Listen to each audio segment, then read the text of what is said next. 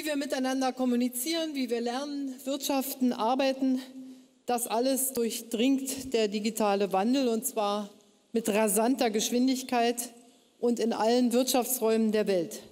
Wir in Deutschland knüpfen besonders an das, was wir Industrie 4.0 nennen, die Erwartung, dass hier unsere hohe Industriekompetenz auch in die digitale Zeit fortentwickelt werden kann. Aber der Wettbewerb ist groß und der Wettbewerb ist global.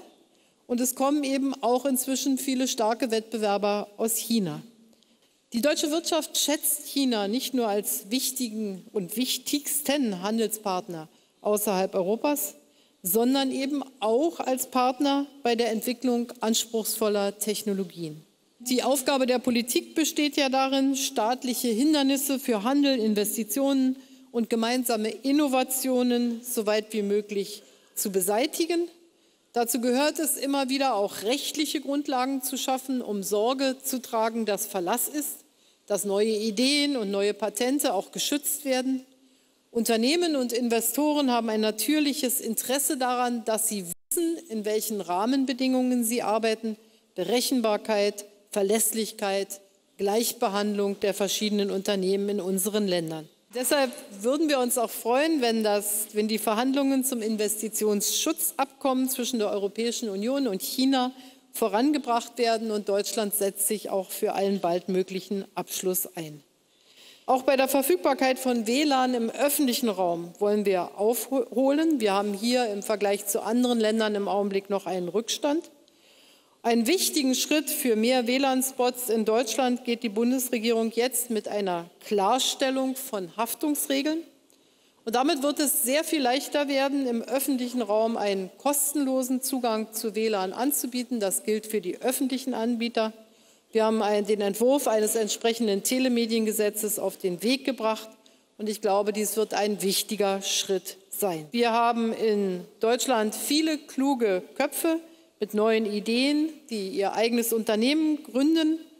Berlin und andere Städte sind solche Zentren für Existenzgründer in der digitalen Wirtschaft geworden.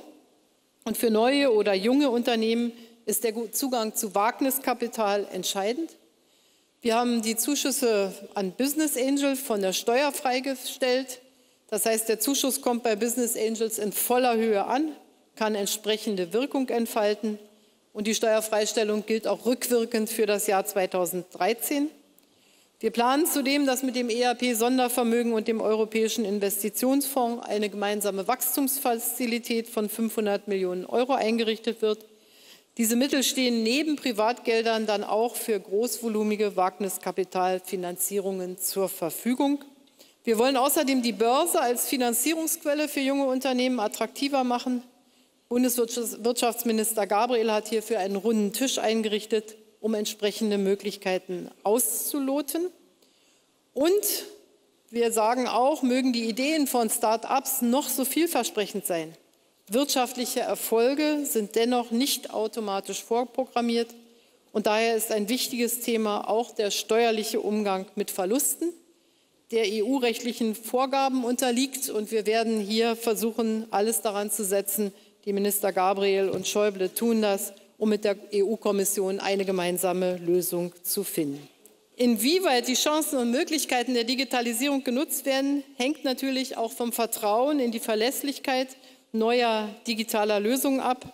Um dieses Vertrauen zu untermauern, hat die Bundesregierung den Entwurf für ein IT-Sicherheitsgesetz auf den Weg gebracht.